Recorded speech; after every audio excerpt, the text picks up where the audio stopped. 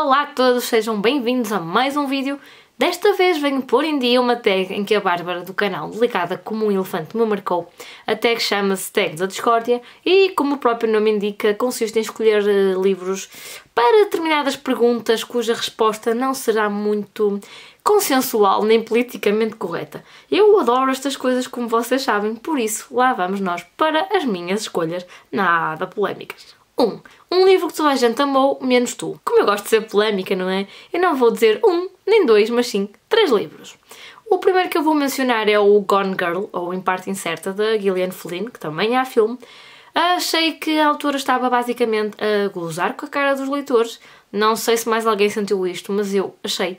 Não gostei nada do livro, achei que foi demasiado valorizado. Não o achei tanto assim. Mas lá está, é uma questão de opinião pessoal.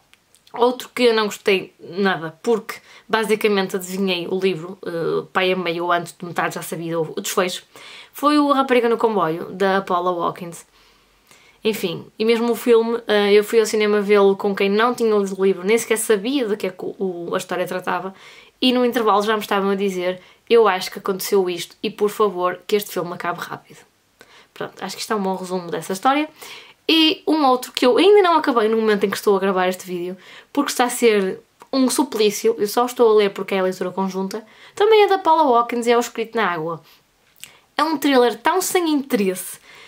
Normalmente os thrillers é aquele género de livro que eu, se gostar, leio muito rápido, depois no final não retenho nada, não mudou a minha vida, mas que eu leio muito rápido, é uma espécie de guilty pleasure. E o Escrito na Água é nada, basicamente. 2. Um livro com uma protagonista insuportável ou difícil de ler. Para aqui eu vou escolher uma ela. Ela não é que seja insuportável no sentido de ser, sei lá, pouco honesta ou criminosa, não é nada disso. Eu vou escolher a América Singer, Singer? Da seleção. E daqueles livros todos que eu quando li eram pai 3, agora são pai meia dúzia, nem sei. Porque ela é muito do irritante. Ela não sabe para o que vai, não sabe o que quer, não sabe nada. Uh, não sei, é uma miúda assim um bocadinho esquisita.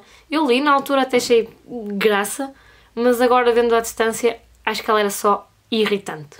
3. Um livro que deixaste pela metade. Eu já abandonei N livros, como devem calcular. Um que eu me lembro de até ter lido uma parte considerável e ter deixado uh, de ler foi O Inverno de Sombras, da Liliana Lavado. Hum, simplesmente quando chegou à parte efetivamente assim mais de fantasia, eu parei uh, a minha leitura, não, não fluiu. E um outro que curiosamente eu pensei que ia adorar, é um livro que até é bem caro, eu comprei-o e assim não ficou propriamente barato, com um vale da Bertrand que me deram no Natal passado, e eu não consegui passar para aí da página 300 e tal. Foi o Pintacilgo da Dona Tarte. Ainda não desisti deste, eu acho que ele tem potencial, mas é demasiado grande. 4. Um livro que te recusas a ler. Um livro que eu me recuso a ler porque li 3, 4, não, minto, se calhar li mais, mas li para umas 10 páginas, se tanto, é O Coração de Simon contra o Mundo. Eu até o tenho ali na pilha de livros a devolver à biblioteca. Ainda bem que eu trouxe da biblioteca. Ainda bem que eu não gastei dinheiro com isso. O filme é tão melhor que o livro. Não, não, vou pegar mais naquilo. Não quero saber se trouxe ou não li. Ele vai devolvido outra vez. E que seja muito feliz lá por outras paragens aqui não resultou de tudo.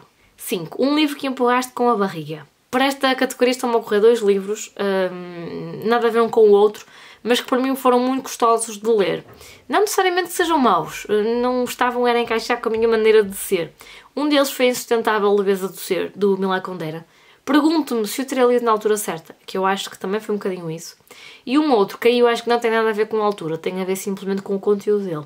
Foi o Mundo de Sofia, que é muito filosófico, e eu gosto de filosofia, mas não naquele sentido tradicional de vamos ver o que é que o Sócrates defendia, vamos ver o que é que defendia o Platão, vamos ver o que é que defendia o Aristóteles. Não, eu não gosto de filosofia nesse sentido.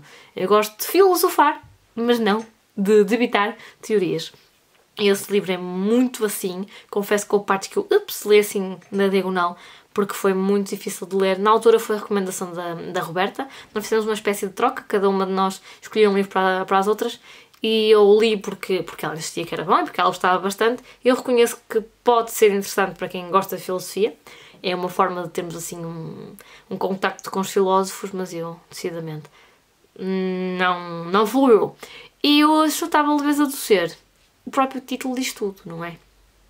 6. Um livro com um clichê bem ruim de engolir. Este livro tem um clichê muito clichêzaço, mas eu li-o assim muito né, tranquilamente, não me aqueceu nem arrefeceu. Esse livro é o A Probabilidade Estatística do Amor à Primeira Vista.